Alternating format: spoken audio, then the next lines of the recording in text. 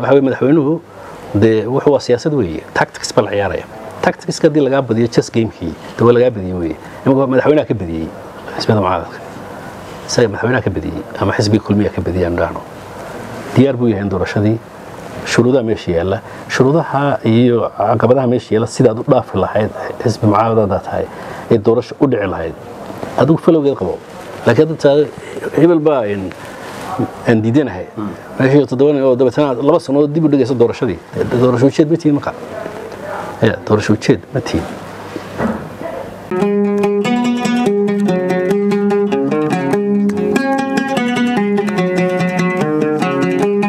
Xulista commissionka ayaa ku beesgaraysan sideeda qabyaalad ku beesgaraysan marka nin xisbigii marka horeba isaga nin qabiilkiisii soo xulaya reerkoodii ayuu meesha keensanaya markuu reerkoodii keensado de kii kale ee guurtidii oo kale oo saleebaan fadhiyana isna de mid reerkooda iyo wixii kale dheeraadee uu ka maarmi waaye buu keenaya oo reera ku keenayo oo soo magacaabay. Madaxweynihii iyo xisbigii iyaguna saas lagu keenay nin aad daadifayso waa qabiila. Qabiilka wuxuu arkayaa markaa inaad khalad ku socotin kaagiiba kama hadalkayga maxaad uga hadlaysaa meesha imanaysa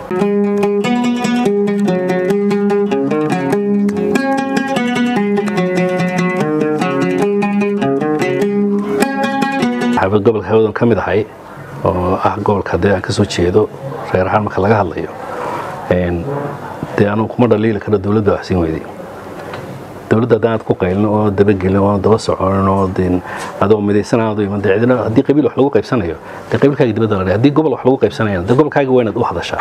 Labadii dhinacba marka waxa weeye labadiiba gobol ahaanna waxba kuma doonanayo qabiil ahaanna waxba kuma doonanayo marka adaa halkaas dhigay bay noqonaysaa. Cid loola caban karaya ma jirto